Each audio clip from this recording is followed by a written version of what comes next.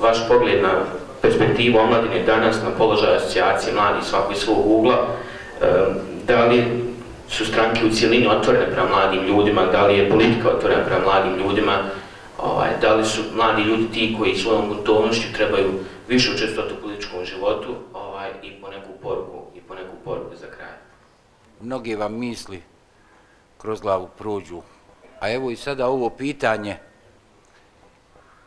Mi smo prije ovoga, ove tribine malo sjedili pa smo analizirali prije i sada i danas i sutra, ako Bog da. E, čast i zadovoljstvo je biti u ovakvom društvu. I mislim, moje osobno mišljenje, da naša Bosna i Hercegovina može biti spokojna pored ovake omladine. Ovo je omladina koja u istinu pokazuje svoju snagu, ovo je omladina koja ima znanje, a mi smo tu, mi smo tu da im pomognemo, ako Bog da. Današnje stanje, kažu da se historija ponavlja, neki kažu svaki sto godina, neko kaže i svaki hiljadu godina, ali je to istina.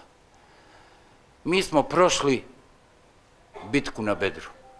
Svima je poznato da je to bila prva bitka u islamu, bitka na Bedru.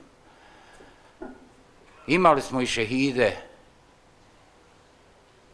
Prošli smo i bitku na Hendeku.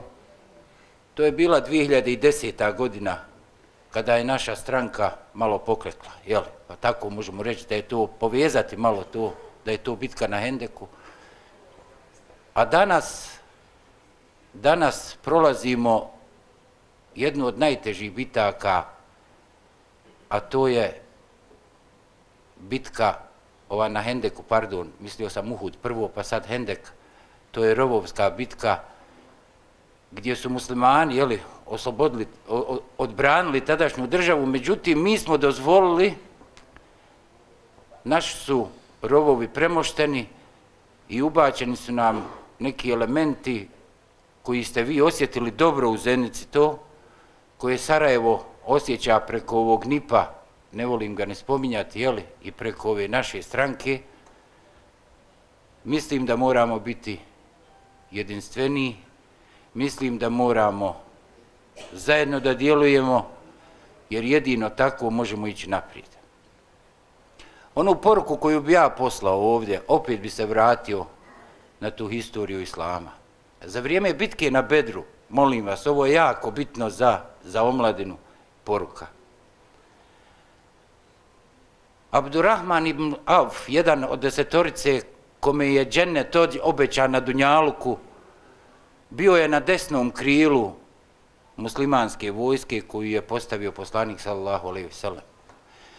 Kada se ukrenuo na svoju desnu stranu, vidio je momka od 15 godina, kao borca u prvom safu.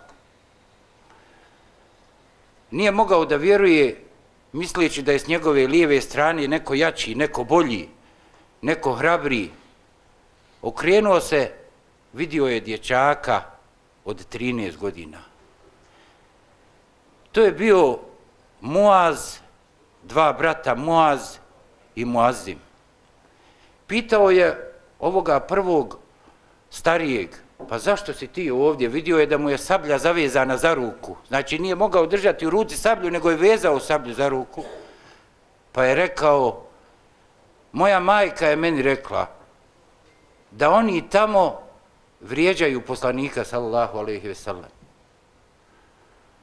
Nije mogao da vjeruje. Okrenuo se ovom mlađem, pa ga je pitao, pa dobro, zašto si ti u ovoj bitci? Kaže, moja majka je dala, ostavila meni emanet da ubijemo Ebu Džehela. Mislim, pazite, pa nam kaže, digni nas i pokazi nam ko je taj Ebu Džehel, ko je, oni ga ne znaju.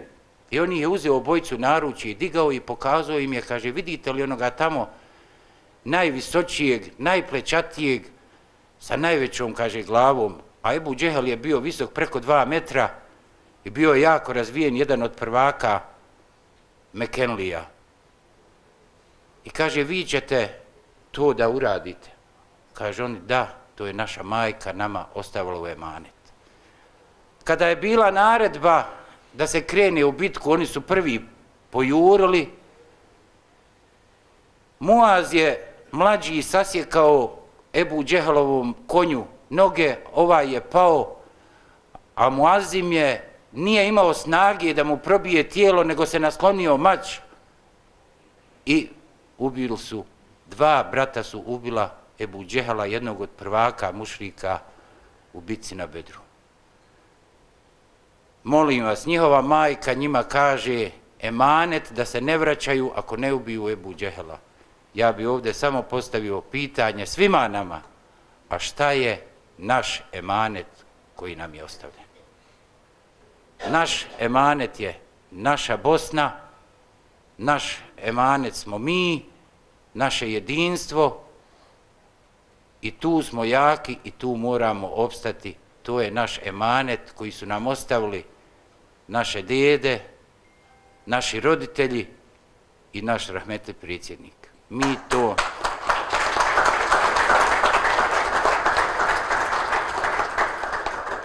Mi taj emanet ne smijemo da iznevjerimo. Hvala vam, hvala lijepo.